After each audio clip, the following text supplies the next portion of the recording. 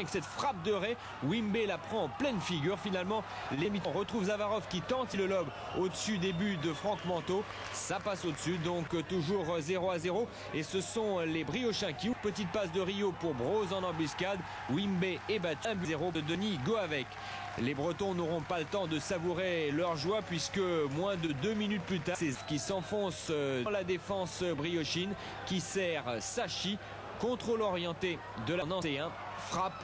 Ce sera, mais les Bretons auraient pu en deux occasions au moins s'imposer, notamment ici sur cette remise de François pour Ray qui échoue sur Wimbe. Rio qui tente à nouveau sa chance. Là encore, ça passe à côté.